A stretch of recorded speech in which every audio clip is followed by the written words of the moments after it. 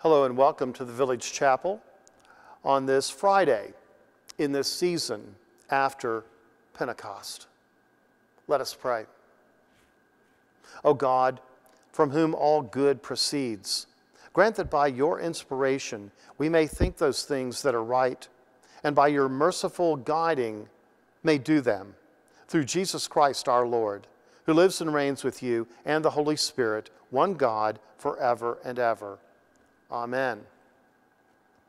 A reading from the Gospel of Matthew, chapter 10, verses 16 through 23.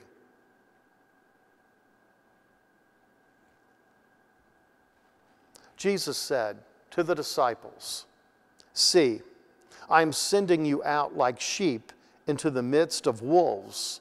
So be wise as serpents and innocent as doves.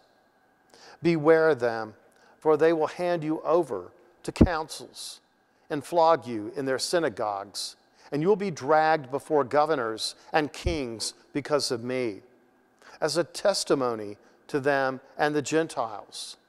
When they hand you over, do not worry about how you are to speak or what you are to say, for what you are to say will be given to you at that time. For it is not you who speak, but the Spirit of your Father speaking through you. Brother will betray brother to death, and a father his child, and children will rise against parents and have them put to death. And you will be hated by all because of my name.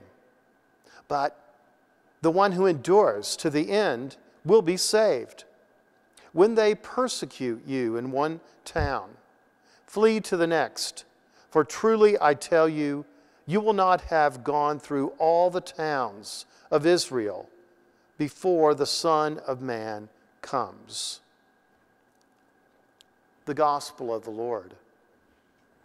Jesus is continuing in chapter 10 to prepare his disciples, sending them out into the Jewish towns. And here he is letting them know what they may be in for. Before, in our last lesson, he's telling them to travel light and not to take unnecessary things with them, but to rely upon the hospitality of the people in those towns. And now he's telling them, in addition to being rejected, in addition to people perhaps slamming their doors in your face, you might be called up before the authorities of that town and you might be persecuted by them for saying what they consider as Jews to be heretical, for saying that the Messiah is here, and that Messiah is Jesus of Nazareth. They may consider that heretical. They may consider it even blasphemous. And so be prepared. Jesus is telling these fledgling, young, green, would be apostles the truth. And let's remember, years down the road, after Jesus himself is crucified, all of these disciples, except perhaps for John, are going to die violently and at the hands of these same people that he's talking about. And so Jesus is saying, be prepared. And as he always said, don't be afraid. Don't be afraid because I'm telling you, whatever they do to me, and they're going to do their worst to me, they'll do to you too because of me, because you're with me. But it's all right. I will conquer this world. I will overcome everything that this world can do to me and to you. Don't be afraid. Don't let anything they say to you bother you.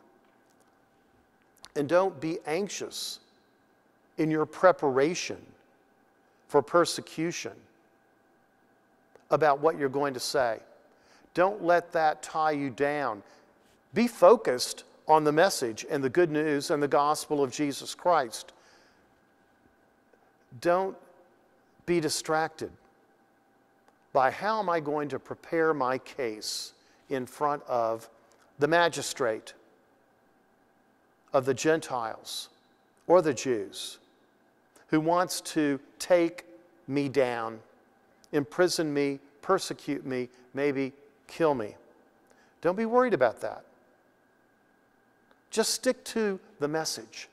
Stick to the message, and then when the time comes and you're standing there, the Holy Spirit will guide you into the truth and tell you what to say.